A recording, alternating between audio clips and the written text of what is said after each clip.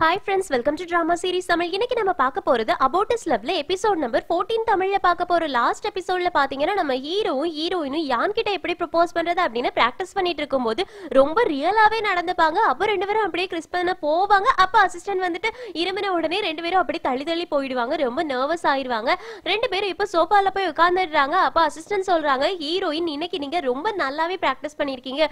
கண்டிப்பா நாளைக்கு உங்களால யான் கிட்ட சூப்பரா ப்ரப்போஸ் பண்ண முடியும் அப்படின்னு சொல்றாங்க. அதுக்கு நம்ம ஹீரோயினும் தேங்க்ஸ் சொல்லிட்டு ஹீரோவுக்கும் தேங்க்ஸ் சொல்றாங்க. அப்போ ஹீரோ சொல்றாங்க நம்ம ரெண்டு பேரும் ஃப்ரெண்ட்ஸ் தானே அதனால நீ எனக்கு தேங்க்ஸ் சொல்ல வேண்டிய அவசியம் இல்லை. இது நான் உனக்கு ஹெல்ப் பண்ணணும்னு தான் பண்ணேன் அப்படின்னு சொல்றாங்க.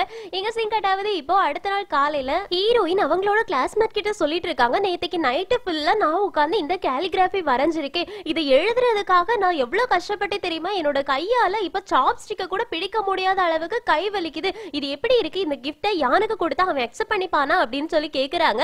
அதுக்கு கிளாஸ் மட்டும் நீ இவ்வளவு கஷ்டப்பட்டு பண்ணிருக்கல கண்டிப்பா அவங்க அக்செப்ட் பண்ணுவாங்க. அதனால நீ எதுக்கும் கவலைப்படாத அப்படின்னு சமாதானப்படுத்துறாங்க. நம்ம ஹீரோயினுக்கு இப்ப ஹாப்பி ஆயிடுது. எங்க சீன் கட் ஆகுது? பூனைக்குட்டி மட்டும்தான் இப்ப வீட்டுல இருந்துட்டு இருக்காங்களா? அப்போ ஃபாய் வந்து பூனைக்குட்டி கிட்ட கேக்குறாங்க. நீ மட்டும் தான் இருக்கியா? வேற ரெண்டு பேரும் எங்க போயிட்டாங்க அப்படின்னு அப்புறமா தான் யோசிக்கிறாங்க. ஆ இன்னைக்கு யானோட பர்த்டே இல்ல. அதனால ஹீரோயின் அதுக்கு ப்ரிப்பேர் பண்ண போயிருப்பா. ஆனா இந்த ஜீனியஸ் எங்க போயிட்டா? அப்படி சொல்லி கேக்குறாங்க. அதுக்கு பூனைக்குட்டி சொல்றாங்க இன்னைக்கு ஃபுல் மூன்ல அதனால நைட் அவ வெளியில ஸ்டே பண்ணி மூனை பாக்குறதுக்காக வெயிட் பண்ணிட்டு இருக்கா அப்படின்னு. அதுக்கு ஃபாய் சொல்றாங்க. ஓ இன்னைக்கு ஃபுல் மூனா அப்ப கண்டிப்பா இன்னைக்கு ரொமான்டிக்கா இருக்க போகுது அப்படின்னு பூனைக்குட்டிக்கு கோவம் வருது. நீ எங்க போற? யார பார்க்க போற? அப்படின்னு கேக்குறாங்க. அதுக்கு ஃபாய் சொல்றாங்க. உனக்கு மறந்துருச்சா? இன்னைக்கு ஹீரோவோட அங்கிள் கூட எனக்கு டேட்டிங் இருக்கு. அவங்க கூட தான் நான் ரொமான்டிக் டின்னருக்கு போறேன். கண்டிப்பா அங்க ரொமான்டிக்கா ஏதாவது நடக்கும் அப்படின்னு சொல்லிட்டு இருக்காங்க. உடனே பூனைக்குட்டிக்கு கோவம் வந்துருது. அங்க இருந்து எழுந்திருச்சு போயிட்டு தன்னோட பெட்ல போயிட்டு கட்டனை க்ளோஸ் பண்ணிக்கிறாங்க. அப்ப ஃபாய் கேக்குறாங்க இப்ப இவன் எதுக்காக கோவப்பட்டு போயிட்டு இருக்கான்? ஒருவேளை இவன் மட்டும் தான் இன்னைக்கு நைட்டு தனியா வீட்டுல இருப்பான் அப்படின்றதுனால கோவப்படுறானோ நானும் இவன் கூட இருக்கணும்னு நினைக்கிறானோ ஆனா என்னால எப்படி இருக்க முடியும் அப்படின்னு சொல்லிட்டு பூனைக்குட்டி கிட்ட பூனைக்குட்டி உனக்கு நைட்டு சாப்பிடுறதுக்கு ஏதாவது வாங்கிட்டு வரணுமா? நான் நைட் டைம் வரும்போது ஸ்நாக்ஸ் வாங்கிட்டு வரவா? அப்படின்னு கேக்குறாங்க. அதுக்கு நம்ம பூனைக்குட்டி வந்து இல்ல தேவையில்லைன்னு சொல்லிடுறாங்க. உடனே பாயும் சரி ஓகே அப்படின்னா நான் ஃப்ரிட்ஜ்ல சாண்ட்விச் வச்சிருக்கேன். மறக்காம எடுத்து சாப்பிட்டுடு சரியா? நான் இப்ப கிளம்புறேன். பாய் அப்படின்னு சொல்லிட்டு கிளம்பி போயிடுறாங்க. பாய் கிளம்பி போனதுக்கு அப்புறமா பூனைக்குட்டி மெதுவா கட்டனை ஓபன் பண்ணி ஜன்னல் வழியா வந்து நின்னு பாய் போறத பாத்துக்கிட்டே இருக்காங்க. ரொம்ப சோகமா இருக்காங்க. இங்க கட் பண்ணா? ஹீரோயினை ஹீரோ காலேஜ்ல வந்து பிக்கப் பண்ணிக்கிறாங்க. நம்ம ஹீரோயின் யாருக்கு பிடிச்ச மாதிரி கெட்டப் எல்லாம் போட்டுட்டு யாருக்கு கொடுக்கறதுக்காக கிஃப்ட் ரெடி பண்ணி வச்சிருக்காங்க? ஹீரோயின் கேக்குறாங்க காலேஜ் என்ட்ரன்ஸ்ல என்ன இதுக்காக பிக் பண்றதுக்காக வந்து நின்னு அப்படின்னு. அதுக்கு ஹீரோ சொல்றாங்க நான் உன்னோட பெஸ்ட் ஃப்ரெண்ட்ல இன்னைக்கு நைட்டு நீ ப்ரப்போஸ் பண்ண போற. கண்டிப்பா லேட்டா போக கூடாதுல்ல. அதுக்காக தான் உன்னை கூட்டிட்டு போறதுக்காக வந்திருக்கேன் அப்படின்னு ஹீரோயினுக்கு ஹாப்பி ஆயிடுது. இங்க கட் பண்ணா? நம்ம பூனைக்குட்டி வீட்டுல உட்காந்துட்டு ஏதாவது சாப்பிட கிடைக்குமா அப்படின்னு ஃப்ரிட்ஜ்ல எல்லாம் பாத்துக்கிட்டு இருக்காங்க. ஏன்னா பாய் சொல்லிட்டு போனாங்கல்ல சாண்ட்விச் இருக்குன்னு அதனால தான் அதை தேடிக்கிட்டு இருக்காங்க. ஆனா அவங்களுக்கு பிடிச்ச மாதிரி எதுவும் இல்லைன்னு சொல்லிட்டு வெளியில போய் ஷாப்ல திங்ஸ் எல்லாம் வாங்கிக்கிறாங்க. அதுக்கப்புறமா அந்த கடைக்கு வெளியில ஒரு பூனைக்குட்டி இருக்குதா? அந்த பூனைக்குட்டிய நம்ம ஜயலு பூனைக்குட்டி தடவி கொடுத்துக்கிட்டு இருக்காங்க. அதுக்கு சாப்பிடுறதுக்கு ஏதாவது கொடுக்கலாம். பசியா இருக்கும்ல அப்படின்னு சொல்லிட்டு அதுக்கு சாப்பாடு கொடுக்க பாக்குறாங்க. அப்போ அந்த பூனைக்குட்டி ஓடி போகுது. பின்னாடியே நம்ம ஜயலு பூனைக்குட்டியும் ஓடி போறாங்க. ரொம்பவே ஹாப்பியா அந்த பூனைக்குட்டிக்கு பின்னாடி ஓடி போயிட்டு இருக்காங்க. இங்க கட் பண்ணா ஃபாய் வந்து ஹீரோட அங்கிள் இருக்காங்கல்ல அவங்க கூட பார்ட்டி அட்டன் பண்ணிட்டு இருக்காங்க. இந்த பக்கம் ஜயலு பூனைக்குட்டியை கண்டுபிடிச்சிடுறாங்க. பூனைக்குட்டி கிட்ட சொல்றாங்க நீ பயப்படாத நான் உன்னை எதுவுமே பண்ண மாட்டேன். உனக்கு சாப்பிடுறதுக்காக தான் ஏதாவது கொடுக்க போறேன். அதனால என்கிட்ட வா அப்படின்னு அப்படியே அந்த பூனைக்குட்டியை கையால தூக்கிக்கிறாங்க. அதுக்கப்புறமா தான் சுத்தி முத்தி பாக்குறாங்க இந்த இடம் என்னன்னே நம்ம ஜயலுவுக்கு தெரியல. ஏதோ ஒரு இடத்துக்கு அப்படியே தெரியாம வந்துட்டாங்க. இங்க இருந்து எப்படி வீட்டுக்கு போறது அப்படின்றதும் ஜயலுவுக்கு தெரியல. அப்படியே முழிச்சிட்டு இருக்காங்க இங்க கட் பண்ணா பார்ட்டி நடக்கக்கூடிய இடத்துல பாய் உட்காந்து ஹீரோட அங்கிளும் பாயும் சேர்ந்து எடுத்திருப்பாங்கல்ல அந்த எல்லா போட்டோஸையும் பார்த்துட்டு இருக்காங்க அப்போ அங்கிள் அங்க வந்துடுறாங்க. ஃபாய் கிட்ட நீ என்ன பண்ணிக்கிட்டு இருக்க அப்படின்னு சொல்லி கேக்குறாங்களா? அப்போ ஃபாய் சொல்றாங்க போட்டோஸ் பார்த்துட்டு இருக்கேன் அவ்வளவுதான் அப்படின்னு. அதுக்கு அங்கிள் சொல்றாங்க போட்டோஸ்ல பாக்குறத விட என்ன நீ நேர்ல பாத்துக்கலாமே எதுக்காக போட்டோல பாத்துட்டு இருக்க எனக்கு நேர்ல பாக்குறது தான் பிடிக்கும். அதனாலதான் ஒன்னு நான் பார்ட்டிக்கு இன்வைட் பண்ணிருக்கேன் டெய்லி எழுந்திருச்ச உடனே நான் உன்னை பார்க்கணும்னு ஆசைப்படுறேன் அப்படின்னு எல்லாம் ரொமான்டிக்கா பேசி நம்மளோட ஃபாய அப்படியே கொஞ்சம் கொஞ்சமா வலையில விழ வச்சிட்டு இருக்காங்க அது மட்டும் இல்லாம இன்னைக்கு நைட்டு நான் வீட்டுக்கு தனியா தான் போக போறேன். நீ ஏன் கூட வரியா? அப்படின்னு சொல்லி கேக்குறாங்க. ஃபாய்க்கு ரொம்ப ஹாப்பி ஆயிடுது. நைட்டு ஃபுல்லா அப்போ அங்கிள் கூட வெளியில அங்க இங்கன்னு சுத்தலாம் அப்படின்னு சந்தோஷப்பட்டுட்டு இருக்காங்க. இப்ப ஃபாய்க்கு பூனைக்குட்டி கால் பண்றாங்க. அதனால பாய் வந்து அங்கிள் கிட்ட ஒரு நிமிஷம் வெயிட் பண்ணுங்க. நான் இது முக்கியமான கால் அட்டன் பண்ணிட்டு வந்துடுறேன் அப்படின்னு வெளியில வந்து அட்டன் பண்றாங்க. அப்போ பாய் கேக்குறாங்க பூனைக்குட்டி கிட்ட ஏதாவது முக்கியமான விஷயமா உடனே சொல்லு அப்படின்னு. அதுக்கு பூனைக்குட்டி சொல்றாங்க நான் நினைக்கிறேன் நான் தொலைஞ்சு போயிட்டேன் அப்படின்னு. உடனே பாய் கேக்குறாங்க தொலைஞ்சு போயிட்டியா? நீ எங்க இருக்க? அப்படின்னு கேக்குறாங்களா அதுக்கு பூனைக்குட்டி சொல்றாங்க எனக்கு தெரியல. நான் சுத்தி முத்தி பாக்குறேன் ஆனா எனக்கு எந்த இடத்துல இருக்கேன் அப்படின்றதே தெரியலன்னு சொல்றாங்க. உடனே பாய் சரி ஓகே அப்படின்னா எனக்கு உன்னோட லொகேஷனை சென்ட் பண்ணு. நான் இங்க பார்ட்டி முடிஞ்ச உடனே உன்னை வந்து பாக்குறேன்னு சொல்றாங்க. அதுக்கு ஜயலும் ஆ சரி ஓகேன்னு சொல்றாங்க. இப்ப பாய் வந்து ஒரு நிமிஷம் இரு ஒரு நிமிஷம் இரு. பக்கத்துல ஏதாவது டிபார்ட்மெண்ட் ஸ்டோர் இருந்துச்சுன்னா அங்க உள்ள போயிரு அப்படின்னா தான் உனக்கு குளிராம இருக்கும்னு சொல்றாங்க.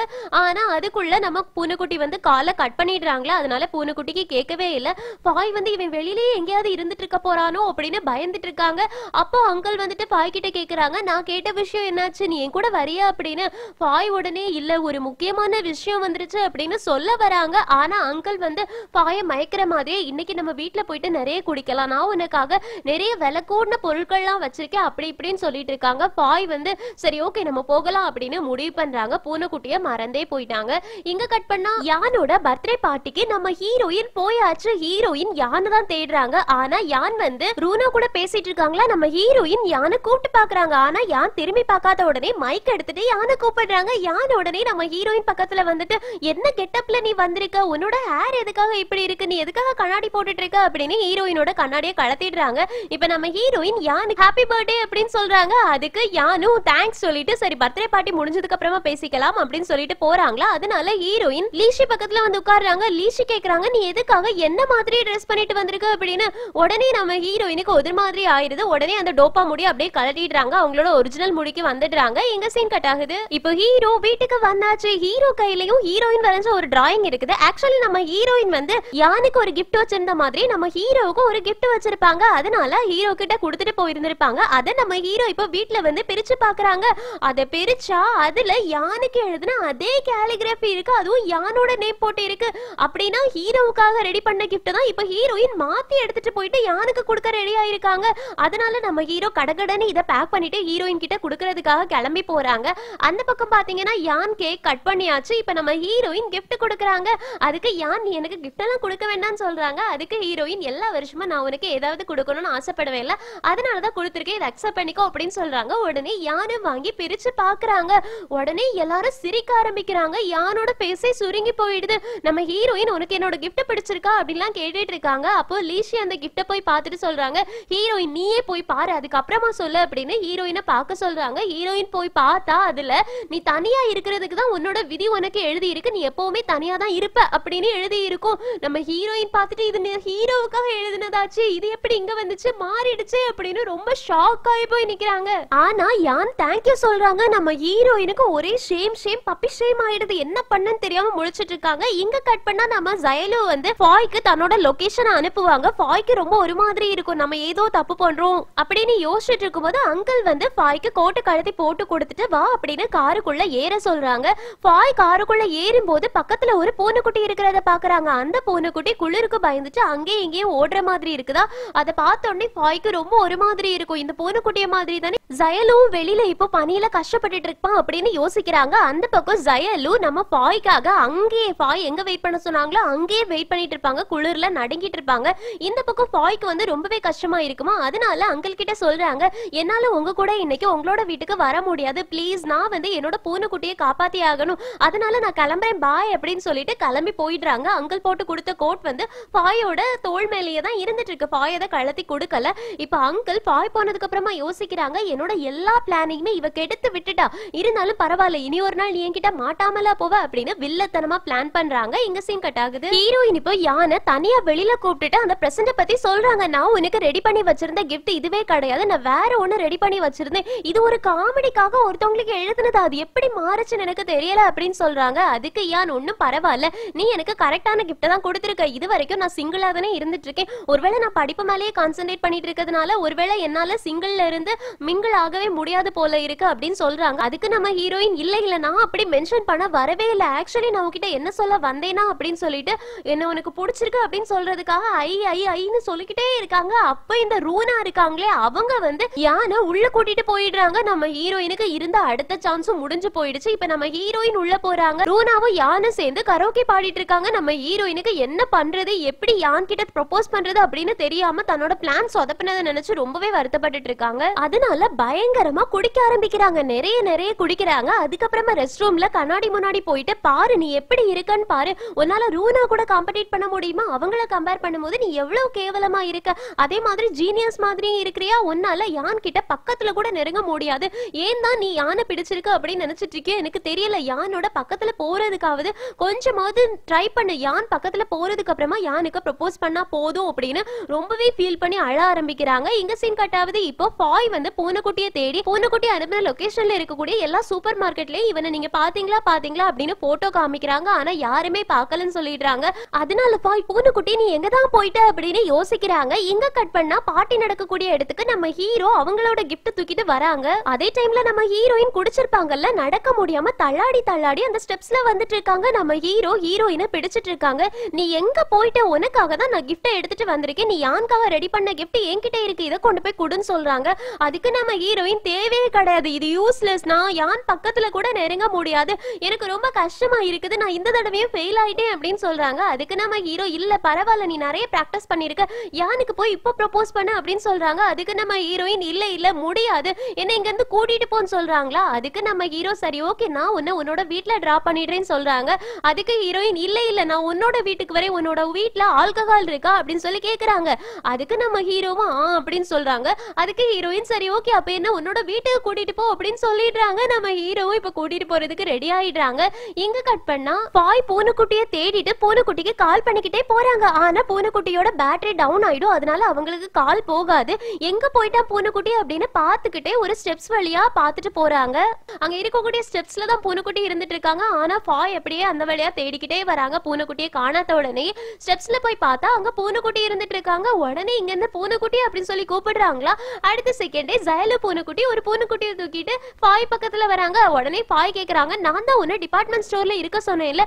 எதுக்காக நீ இங்க வெளியிலேயே பனியில உட்கார்ந்துட்டு இருந்த? உனக்கு குளிரலையா அப்படின்னு கேக்குறாங்க. அதுக்கு பூனைக்குட்டி சொல்றாங்க நீ தானே நான் அனுப்புற லொகேஷன்ல அங்கேயே இருக்க சொன்ன எங்கேயும் போக கூடாதுன்னு அதனாலதான் நான் போகல இங்கேயே இருந்துட்டு இருந்தேன் சொல்றாங்களா? அதுக்கு ஃபாய் கோபப்பட்டு சொல்றாங்க. நான் உன்னை பக்கத்துல எங்கேயாவது ஒரு டிபார்ட்மெண்ட் ஸ்டோர்ல போய் இருன்னு சொன்னேன். அதுக்குள்ளாடி நீ கட் பண்ணிட்ட அப்படின்னு சொல்றாங்க. அதுக்கு பூனைக்குட்டி சாரி சொல்லிட்டு என்ன மன்னிச்சிடுன்னு சொல்றாங்க. உடனே ஃபாயும் சரி ஓகே இருக்கட்டும். உனக்கு இப்ப ரொம்பவே குளிரும்ல அப்படின்னு ஃபாய் போட்டிருந்த கார்ப கழத்தி நம்ம பூனைக்குட்டிக்கு போட்டு கொடுக்குறாங்க. பாரு உன்னோட காதெல்லாம் எவ்வளவு குளிர் ஆயிடுச்சு அப்படின்னு. இப்படியே இங்கேயே நடுங்கிட்டு இருந்திருப்பியா? நான் வர்றது வரைக்கும் ஒருவேளை நான் வர்றதுக்கு லேட் ஆயிருந்துச்சுன்னா என்ன ஆயிருப்ப அப்படின்னு சொல்லி கேக்குறாங்க. அப்பவும் பூனைக்குட்டி சொல்லுது உனக்காக நான் வெயிட் பண்ணிட்டு இருப்பேன் நீ கண்டிப்பா வருவ அப்படின்னு எனக்கு தெரியும்னு சொல்றாங்க. உடனே பாய்க்கு வந்து சரி ஓகே வா அப்படின்னு இருக்குது. பூனைக்குட்டியை கூட்டிட்டு போறாங்க. அப்ப பூனைக்குட்டி கேக்குறாங்க நீ போன விஷயம் என்னாச்சு? பார்ட்டி நல்லபடியா முடிஞ்சுதா? அப்படின்னு.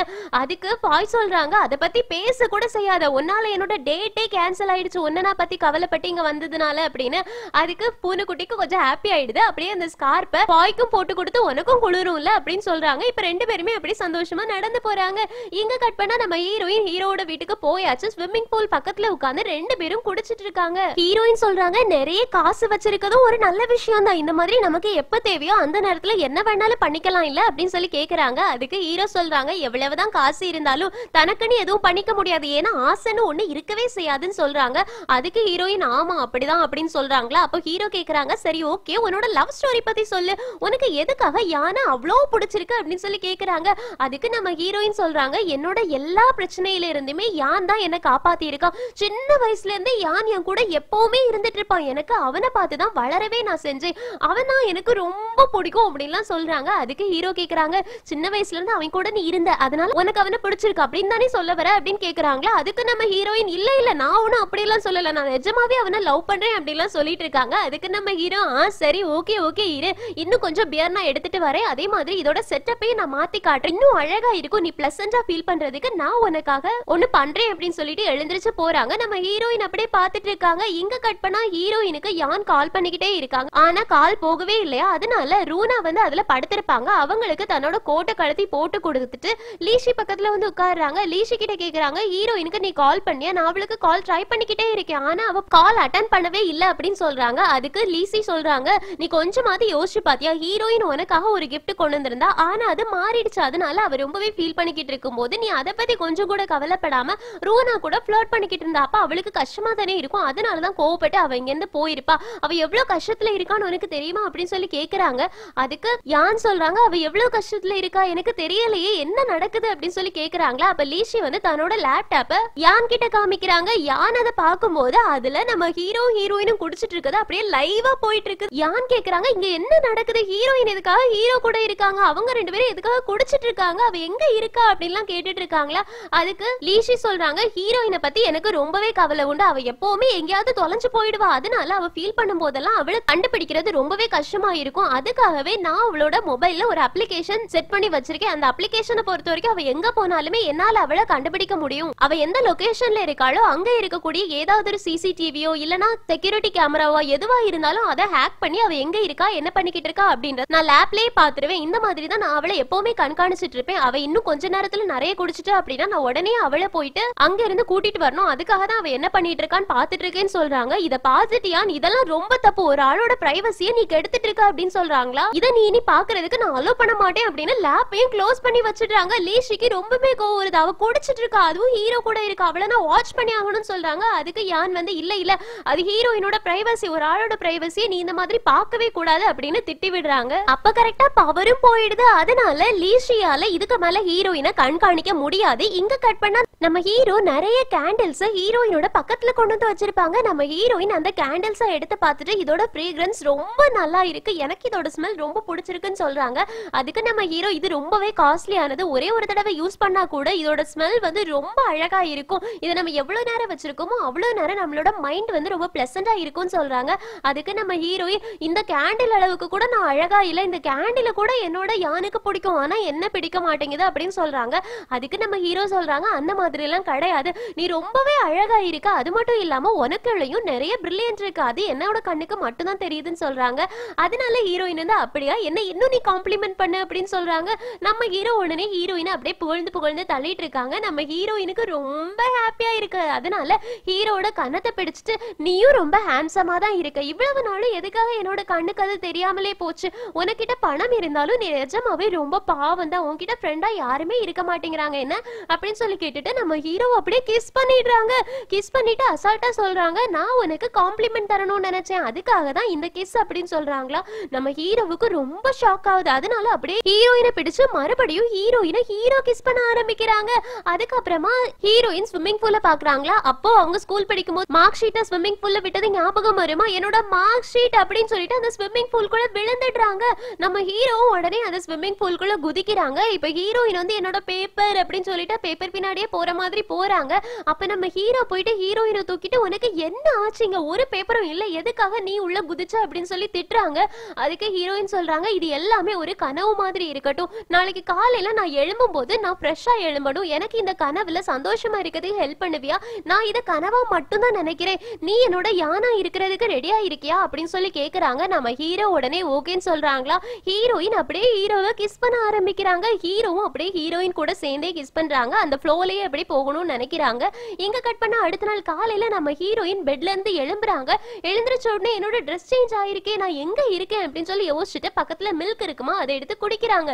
குடிக்கும் போதுதான் அவங்களுக்கு ஞாபகம் வருது நைட்டு ஹீரோவை கிஸ் பண்ணது. ஐயோ நான் என்ன பண்ணிட்டேன் அப்படின்னு சொல்லிட்டு யோசிக்கிறாங்க. ஆனா எவ்வளவுதான் யோசிச்சாலும் நம்ம ஹீரோயினுக்கு கடைசியா என்ன நடந்துச்சு அப்படின்றத ஞாபகமே இருக்காது. அதனால ஹீரோ தேடி ஓடுறாங்க. அந்த பக்கம் ஹீரோ ரெஸ்ட் ரூம்ல இருந்துட்டு இருக்கும்போது அசிஸ்டன்ட் வந்து கால் பண்றாங்க.